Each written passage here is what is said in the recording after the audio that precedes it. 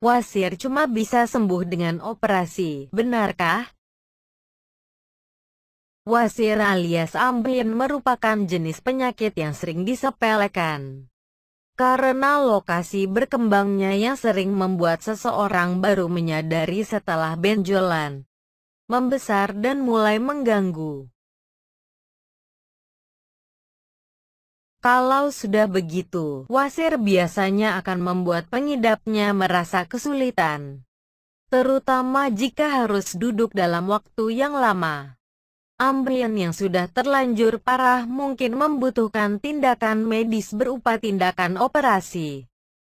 Untuk mengatasinya, meski demikian, bukan berarti operasi menjadi satu-satunya cara untuk mengatasi wasir.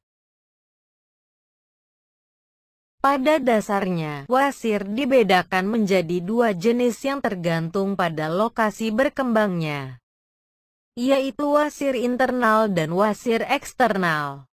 Perbedaan pada kedua jenis wasir ini adalah lokasi pembuluh darah yang mengalami pelebaran. Jika pembuluh darah yang meradang berlokasi di dalam bagian bokong, maka disebut sebagai wasir internal. Sebaliknya, saat pembengkakan terjadi pada pembuluh yang ada di bagian luar dinamakan wasir eksternal.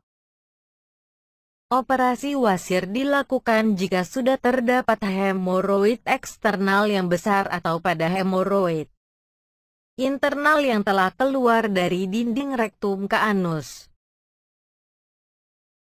Bagaimana cara mengobati wasir tanpa operasi?